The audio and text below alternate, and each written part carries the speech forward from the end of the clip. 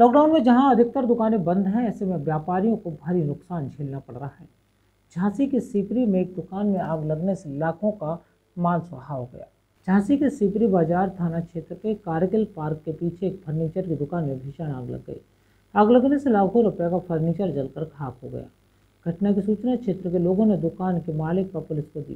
साथ ही पड़ोसियों ने भी आग बुझाने का भरकस प्रयास किया। इसके साथ दमकल को भी आग की सूचना दी गई। लेकिन जब तक आग पर काबू पाया जाता दुकानदार का लाखों का माल जलकर खाक हो चुका था। द्वारका प्रसाद की दुकान थी फर्नीचर की। क्या हुआ? कैसे आग लगी? अब क्या बता दें हम।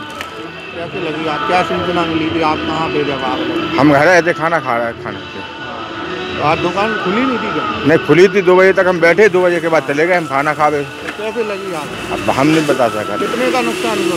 कम से कम दो दो ढाई लाख का।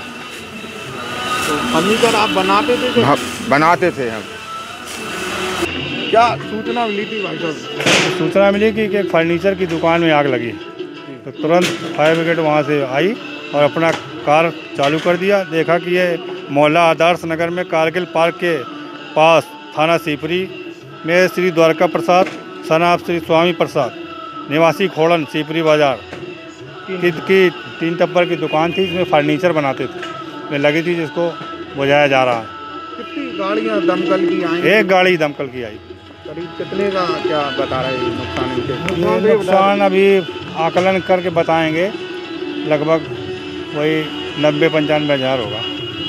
झांसी से मनीष अली के साथ राहुल उपाध्याय की report. With moral values, the only institution with all latest facilities, computer lab, science lab, experienced teachers, air conditioned hostel with all facilities, the best educational institute in the area, the Gramoda International College, Jhansi Road, Mauranipur.